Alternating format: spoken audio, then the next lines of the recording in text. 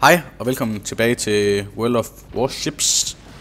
Um, ja, jeg døde lidt tidligt i den kamp her, så jeg er også lidt optaget, at vi sidder sammen, jeg sidder og spiller sammen med ham AJ Winter, som mig og Stilling også kørt F1 med, og jeg kan se, at han dør de der torpedo lige om et øjeblik.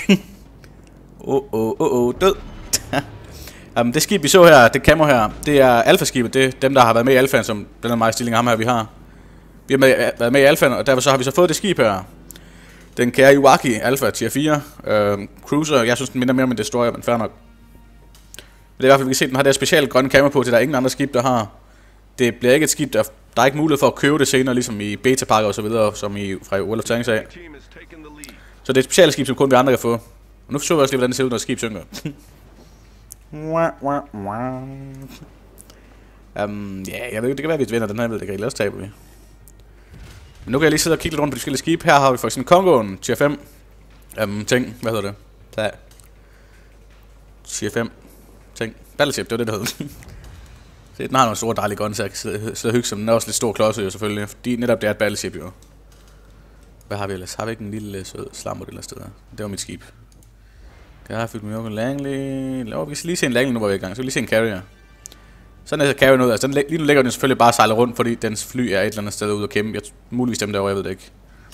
Den, dens fly er i hvert fald ude at kæmpe rundt omkring, og derfor så ligger den jo bare sejler rundt for at prøve at holde sig væk fra modstanderne, selvfølgelig. Miyoko, Miyoko. I Sukase, der var Infamous 5. Jeg tror, han er også alfa tester, mener jeg. Eller bare. Han sejler så en af de små destroyer her. Det er jo de her små torpedo runners, som I kan se, det er et ekstremt lille skib. Virkelig, virkelig, virkelig, virkelig lille skib. Tænk så er det bare en torpedo-idiot over det hele, og han har bare torpedo alle steder. Sådan er det.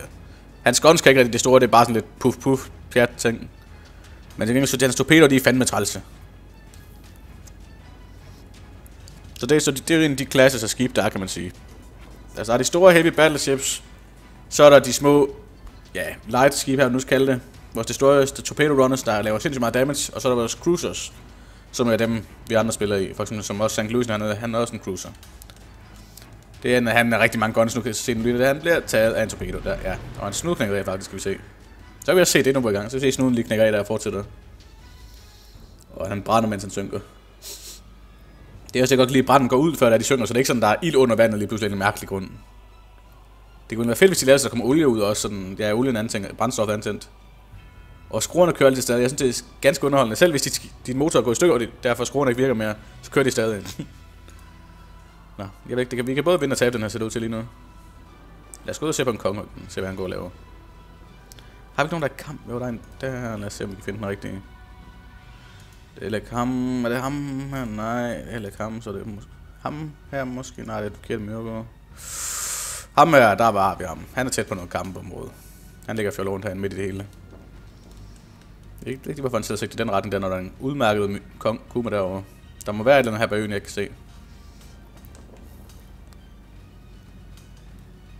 Men ja, det er i hvert fald, nu har vi fået det her alfa-skib jo, som, fordi vi har været med til at hjælpe med at udvikle spillet gennem alfaen jo, som, altså ja, mange de har været sure over, at de kom ind og bla bla bla. Og det er bugt og alt muligt pjat. Men jeg synes bare, det har været dejligt at være med til at udvikle, fordi det er et sindssygt dejligt spil, det er sindssygt stort potentiale, og det er allerede sindssygt fedt. Derfor synes jeg, det er rigtig dejligt. Men jeg tænker, når den her kamp lige er overstået forhåbentlig om kort tid, så tager jeg lige en kamp med med Winters, hvor jeg så kan vise jer den kære Iwaki lidt bedre. Japser. Åh, oh, oh, torpedo. Hvad fanden kom de var? Et torpedofly, tror jeg. Ja, det må det have været. Ja, det, det, det. Der kommer bare i hvert fald nogle torpedo der.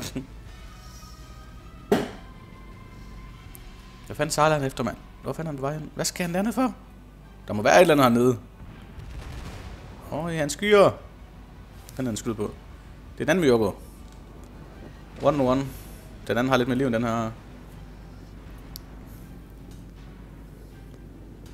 Problemet er så, jeg kan se, at han har drejet sin gun forkert, så han stod bag sin gun, så ikke kunne bruges til en skid endnu. Eller fordi han ikke har været opmærksom på, hvor modstanderen har været, så har han lagt og fjollet rundt med det, og ikke haft guns i en rigtig retning. Vi se, prøv at se, hvor lang tid de sammen at dreje. De er stadig ikke på plads endnu. Nu er de på plads, cirka. Det ligner også, han sigter direkte. Sigter han.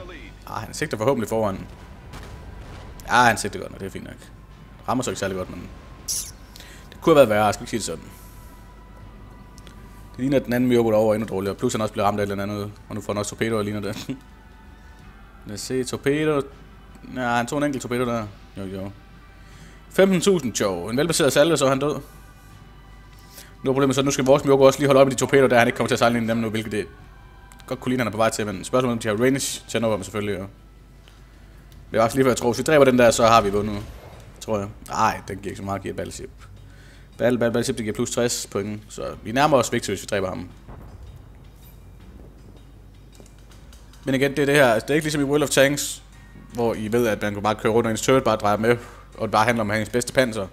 Her der handler det om at have så mange guns på target som muligt hele tiden, men du stadig også skal undgå at sejle ind i alting, ja. Se, man ikke kan dør på næste salve lige om straks. Det skulle han fandme gerne. 1700. Der kommer skud på ham der. Der døde han. Et skud. Bum. Død. Ja, vi har næsten vundet. Nu kan I se 956 ud af 1000 point. De andre har kun 500. Og den måde, man får et point for, det er jo selvfølgelig at ved at dræbe skib, som I kan se her. Og ved at både capture en base, det giver 4 point, og så får man 4 point hver 4 sekund for at holde en base. Og det er sådan set ret vigtigt også at holde baserne. Det er ellers så lige meget. Man kan se, vi vinder nu her om lige om straks. Man kan se, de får også 4 hver, hver sekund, men vi får så 8 hver 4 sekund, kan man sige, fordi vi har to baser jo. Så det var en lille victory her. Lortekamp. Jeg døde alt for tidligt, med. Og Winters var højst, nice. Han tog også to min kills, med den store bøs.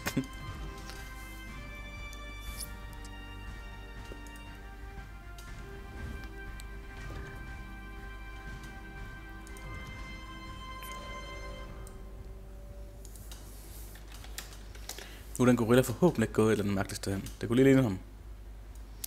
Om ikke andet, så har vi den i hvert fald her. Kan vi se, på lidt unreal, så vi kan stå tekst indover. Vi har den i hvert fald her, kan vi se. Fjern lige den der. ISM også. Vi har den her. Den kære lille søde Iwaki her. Se, fire turrets, eller to turrets foran, tre foran, en i hver side, sådan centralt placeret foran. Nogle torpedorør, der er tre i hver rør, tre torpedoer hver rør, så det er seks torpedoer i alt. De er desværre dobbeltsidet, hvis man siger sådan, så de, det er samme torpedorør, der skyder begge sider, kan man sige. Jeg er ikke en stor fan af det, som jeg også sagde i sidste video, tror jeg det var. Fordi problemet er så, at hvis jeg lige har skudt til den ene side, kan jeg ikke skyde til den anden side, så jeg ligger og sejler rundt med mange modstandere. Og ja, jeg synes, det er lidt irriterende mig sådan der. Og det er de så også udvendige, så de ligger heller ikke gemmer sig inde i skibet, jo, så de bliver også tit og ofte ramt. Men det er altså et dejligt lille hyggeligt skib, synes jeg også. Men det kan også, når man lægger mærke til, hvor lille det egentlig er. Hvor stor er den Katori egentlig i forhold til. Prøv at se, der det er en tier 1 skib, og Erin på den til skyld også. Erin så kan stå. Katorien i hvert fald kan vi så bruge. Den japanske tier 1, prøv at se, hvor stor den er i forhold til en tier 4 her. Så kan vi selvfølgelig gå op i Mørkund, der lige bliver noget større, men... Her, altså, prøv at se, hvor stor den er, hvis vi sådan cirka ser længden i forhold til her. De er næsten lige store. Så den er meget lille af en, hvad hedder det, af en cruiser at være. En krydser. Winters for helvede, din storbøs.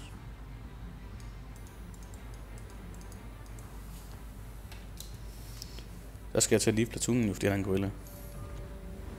Leave the division, yes. Then I'll just go battle with my own. Så må se nu her en lørdag eftermiddag ting over middag ting. Der er også en del flere, jeg har set, der er rigtig mange til 2, 22 skib, der venter på at komme i kamp.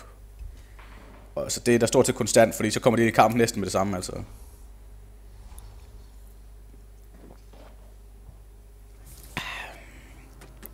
Der er ikke så mange, der savler, savler, savler, savler, sej. Der er ikke så mange, der sejler i den her Iwaki. Det er det, jeg prøver at sige.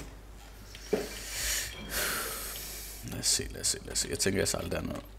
Jeg sejler herover den side derovre derovre. Som er hernede. For det er et lille godt lukket område, det er skide godt, når jeg er torpedo. Og plus, jeg antager også de der to Isukasa og Carsten også har sejlet over os. Fordi det er, dejligt, det er altid godt at være et smalt sted, når man har torpedoer, fordi så kan modstanderen ikke undvige så nemt. Selvfølgelig kan man også sige, at problemet er, hvis jeg lige tager torpedoerne frem her. Vi kan se, det, det er primært bagud, de, de er ikke så gode til at skyde fremad. Det vil igen sige, at jeg bliver nødt til at ligge og dreje meget frem og tilbage fra side til side for at smide min torpedo, hvilket også er lidt trælst. Men sådan er det, det er det nye. Og lad os tage noget AP på. Fuck it. Men det er også det, man skal huske på. Det her, det er godt nok, at en, en cruiser, så den burde logisk set have sit OP anti-aircraft på, men det har den ikke. Den har smokescreen. Så det er også det, jeg tænker lidt, om de har lagt den i forkert kategori, for den minder ekstremt meget om en destroyer på alle dens måder, udover at den ikke har så mange torpedoer. Men den minder ekstremt meget om en destroyer, så jeg ved ikke, om de har lagt den i en forkert, det var meningen, at den skulle være destroyer, de så en eller anden grund har lagt den i cruiseren, som cruiser. For, den minder altså, for mig minder den mere om en cruiser end en, end en destroyer, vil jeg sige. Eller... Den minder mere om en destroyer end en cruiser. Oh, ja. De har lagt en forkert kategori. Det er det, jeg prøver at komme frem til i hvert fald. Kan ikke sige det sådan? Phoenix. Shriek NL. Speed. 3D. Eller speed. Yeman. Lucky. Wow. Se hvad det vi har. En konge, der er på vej væk herfra. Bum, bum, bum. Jeg er ikke sikker, at vi får nogen herinde, jo. Du lige de to tosser, der de sejler op. De er ikke i platoon sammen, så ja. Yeah. Jeg tænker, jeg fortsætter lidt lige ud. Okay, der kommer en lille Tartusa der, en, en, en Gaylord der, en Wix. En Wiki Wiki. En Waki Waki. En Iwaki. Nej, det er det ikke.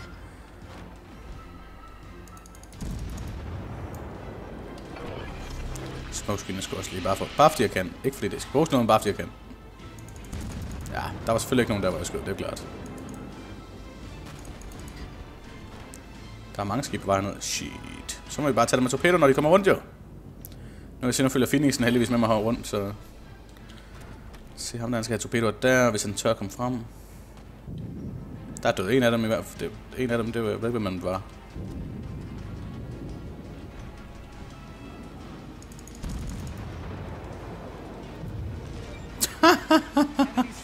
Fuck, han fik høvl der, mand. Skal bare lidt loaded og klar til at tage ham igen, når han kommer rundt her. Han er lige der. Så skulle han gerne dø. Ej, pik mig der i øret, mand. Fandme ikke nogen andre til at tage mine kills. Tak.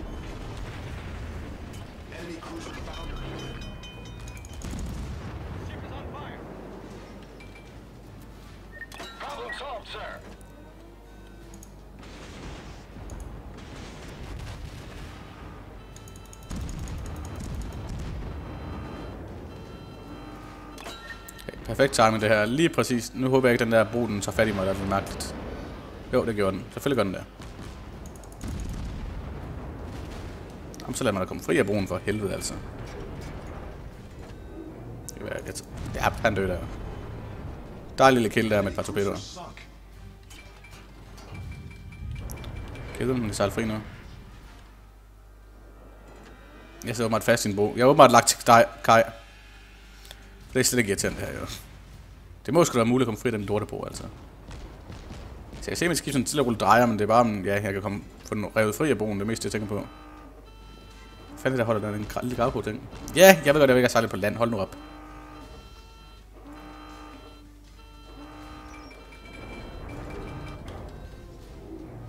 Og drej roret den modsatte vej, og så bak. Ja, I'm stuck. Nej, nej, nej, nej, nej, nu kommer den, nu kommer den, nu kommer den, nu... Der nåede lige to meter, og så stoppede den. kom nu, kom nu, kom nu. Jeg tror, jeg skal dreje røven ud her, inden her, fordi så kan vi nemlig få snuden fri.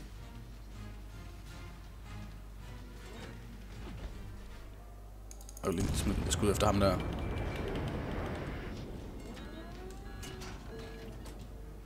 Nej, der er ikke mere til at tage torpedo der. Endelig kom så kom jeg også fri igen. Hold kæft, mand, vi smadrer dem der også bare i sønder sammen og mand. Øh, ja, ja. Det var god humor, det der. Det er fandme sådan en god kamp, den skal være. Se, ham der kommer der. Hvad var... Nu er der for helvede ikke torpedo på vej med mig. Jo, der kommer nogen der. Fuck, det er lige meget. Ham, Lille St. Louis, der kommer derovre. Lad os gå og hjælpe derovre.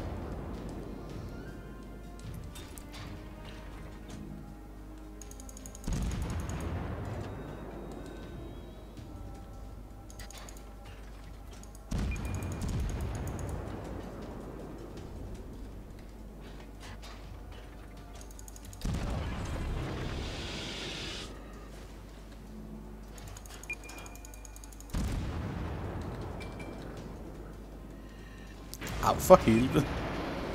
Fede bøf, han skyder på mig. Så går vi bare bag om øen, og så skal han fandme nok få nogle torpedoer, den febøs. De er ved at være klar igen, ikke? Jo, skide godt. Hvad sagde den? Er der også en lille Tatsuta herovre? Det bliver sgu da den rene fest, det her. Hvad fanden, hvad vej sejler han? Så, lige han sejler den vej dømme ud fra mappet. Oh well, I do not know that, and I do not care. I'm just gonna kill him. Nu får hun... Uh, shit, der er også en konge på vej over. Fuck.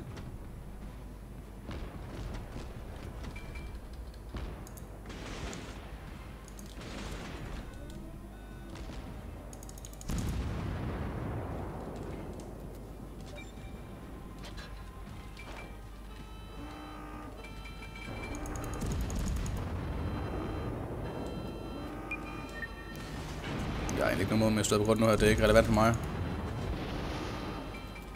Fordi jeg får lige en torpedo i facebomb der. Det var ham, der døde der. Så skal jeg bare have lov til at repaire ham lige om lidt.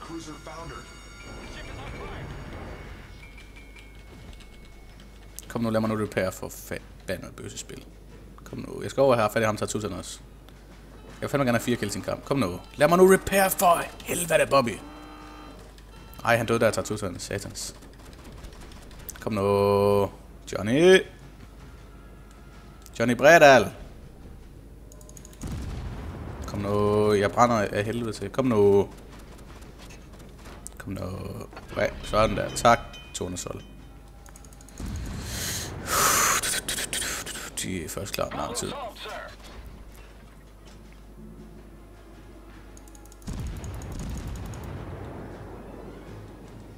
Jeg følger med ham der Speed.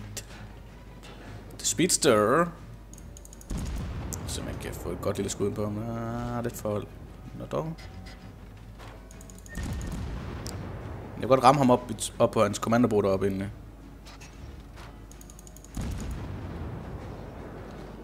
Hvorfor skal han skyde på mig, hvis han gjorde det? Nej, han skyder på carrieren derude. Han er bange for den.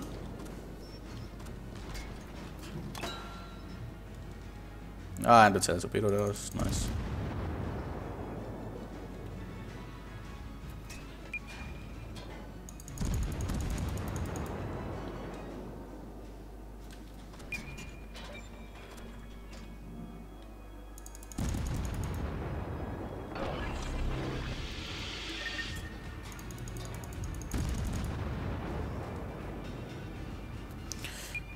Men igen, altså, jeg synes, det er et vildt fedt skib. Den er ikke, jeg synes, den er ikke OP, som nogen premium skib nogle gange har været, når de bliver implementeret. Jeg synes, den virker meget fornuftig i forhold til sin tier.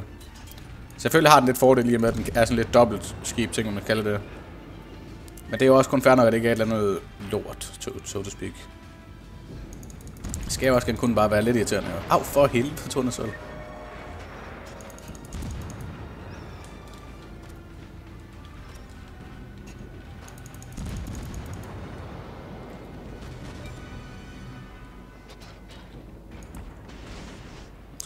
Så det tager det der... Ja, jeg smed min, jeg smed min, min torpedo alligevel. Jeg stod ikke på de der torpedoer der. Jeg stod selv ikke på min egen lige nu, men... Kan jeg være, man er heldig, at de hmm, er gode nok til... Der er død han. Først godt lavet. Så er det videre over til... Viking, Vicky, Vicky. Shots fired. Han døde der. Easy peasy.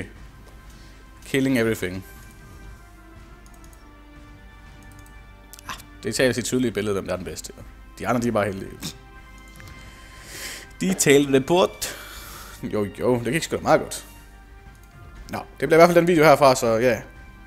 Så jeg kører den her. Så ja, vi ses næste gang.